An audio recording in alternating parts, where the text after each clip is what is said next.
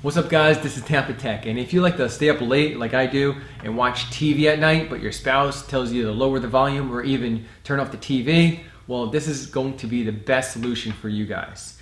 I got a Bluetooth audio transmitter and I got a Bluetooth headset. Now the key to make this all work seamlessly without any kind of audio lag is to get the Avantree aptX low audio latency Bluetooth transmitter.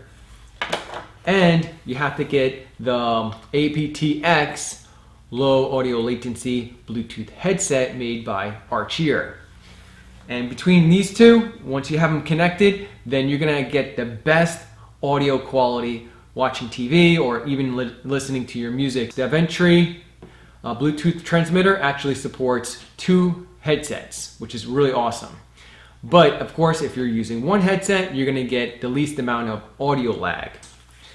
And uh, with this Archeer headset, I would say this is equivalent to, um, the audio quality is equivalent to a Beats Solo 2 wireless headset. And it has all the same features as the Beats uh, Solo 2 headset, where you can plug in your headset, and even when the battery dies, you can plug in your headset uh, using the audio cable, and it'll last you endless hours because it doesn't use the battery. is a high quality Bluetooth headset that's under $60 and it has a stainless steel band so it's extremely durable and you can fold it up and put it in your case and throw it in your book bag. Not, you don't have to worry about it breaking because it's not a plastic piece of junk. And you'll get 14 hours of battery life on this device. All right, so step one is to go ahead and connect all the connections right here. So this micro USB is for power. Now you can actually unplug it and it does have a battery in here, but it, it won't last forever. So I always have it um, powered on using the TV USB port so it stays powered on. Then use the audio cable right here, plug it into aux, and that plugs into your headphone jack on your TV. Now if you don't have a headphone jack on your TV, don't worry, you just have to plug this into another adapter and it's a 3.5 adapter to RCA and then you plug that into the audio output on your TV and then you want to switch it to DC mode. So right now it's in DC mode. So if you want to switch it to battery mode you just do that okay? So we have it in DC mode right now. And then the pair it you hold down this button to pair it and you'll see the lights shine right here. So let's go ahead and do that. So I'm gonna plug in my to my headphone jack. This is my audio output.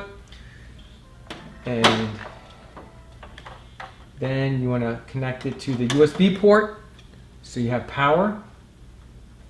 And then once the TV's on, then this will power on. This is a little magnet that sticks onto the back right here. All right. And this is magnetic and just stays like that. All right, once the TV is on, you'll notice this light will start to uh, blink. Like you can see that. And it's letting you know that it has power. All right, next, you wanna go ahead and turn on your headset. Now, this headset you can use for your phone, answer calls, hang up, has a built-in microphone, micro USB to charge it. Okay, now to connect two headsets, make sure they both have aptX low audio latency. And let's go ahead and unplug this and hold down this button to enter Bluetooth mode and you'll see the light start to blink. All right. And then it'll rotate blue, red, blue, red. And what you want to do is hold down the button right here until it rotates red and blue. And then you want to go ahead and turn it on.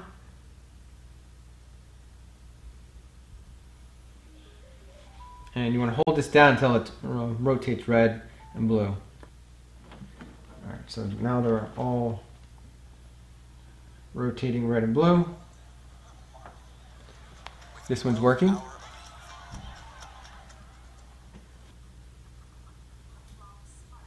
There we go. Sometimes it takes a little longer. If it doesn't respond, you just have to press that button again. But this one just took a little bit longer.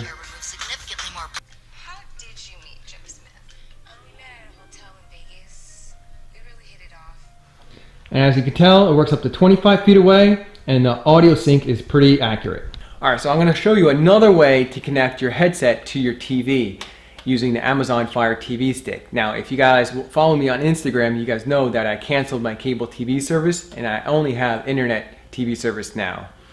I, I still have internet service through my cable provider, but I dropped, uh, completely dropped the cable TV service. So I'm going to show you what that looks like if you guys are interested also. So to turn on my TV using my Amazon Fire TV stick, remote and I just press select. And I'll turn on my TV and that's because I have HDMI control feature turned on my TV and that feature also turned on my Amazon Fire TV stick which is a cool feature. So not only that it turns on the TV it actually switches the input to Amazon Fire TV stick input. Now you want to go hit home button and then go to the settings select down go to Bluetooth devices, hit select, and then you can pair another TV remote, you can pair video game controllers because you can play video games on the Amazon Fire TV stick. But we're going to pair a Bluetooth headset. So let's go ahead and pair that, hit select, and then select add Bluetooth device, select again, and it's in pairing mode, and then you want to hold down your power button on your headset until it rotates red and blue. Now it's in pairing mode and it should, there it goes. Hit select and once you pull up your headset and then once you select on the headset then it should, there it goes, that pop up. The headset is connected. Yeah, it's working. Cool. So now uh, I have, I, I subscribe to all three services because they're free for the first week. I subscribe to um, DirecTV Now, which is separate from the satellite service. So if you have DirecTV satellite service, DirecTV Now is completely separate service, by the way. So that's the internet TV service. Uh, PlayStation Vue is an internet TV service. Um, and then where is it? Sling TV is also another internet TV service. But this is the cheapest of all the three. It's uh, $20, uh, 20 or $30 a month and you only stream three devices at the same time. And there's no DVR functions as of today. And then go over to PlayStation Vue. You can stream actually five devices at the same time, which is good for me because I have kids. And with DirecTV Now, you can only stream two devices at the same time. So that was kind of bummer. But they were running the best deal. 100 channels for $35 a month. And you get a free Amazon Fire TV stick so I jumped on that deal and they actually mailed it out fairly quick. I got it within uh, three to four weeks. But I actually canceled the DirecTV Now, even though it's the most user friendly and has the least amount of lag. So I select, um, I chose PlayStation Vue because uh, you get quite a, uh, quite a few channels, well, a lot of channels for the least amount of money, well, best value, and you get more features and the five streaming was definitely that's what sold me. I get five devices at the same time you can stream. If you have a family of five or more, you're gonna want that. So I'm gonna select living room, and so you guys get a you get to see what it looks like. Okay. All right, there it is, and so you change whatever. This is uh, what, what I'm watching right now, right here. Well, I'm not watching. My wife was watching and then you can hit pause. All right, and then to rewind, you don't use the rewind button here and here. For some reason, they um, they chose to use the navigation pad. So if you want to go back, hit the navigation pad, and then I'll jump back 10 seconds at a time. All right, pause. All right, pause. Pause. There you go. Now to pull up the guide with DirecTV, you just select up, and then the guide pulls up quickly. And then um, the channels are up and down in alphabetical order, like you know a regular cable TV box would be. With um, PlayStation Vue, it's the opposite. And I'll show you. You'll have to hold down the menu button right here, and then that pulls up the guide. Hit select, and you'll see the guide.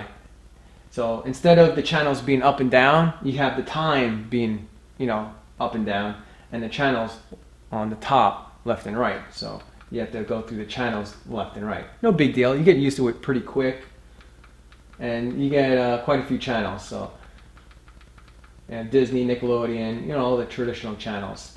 So I chose the $35 package and it gives me sports and stuff like that.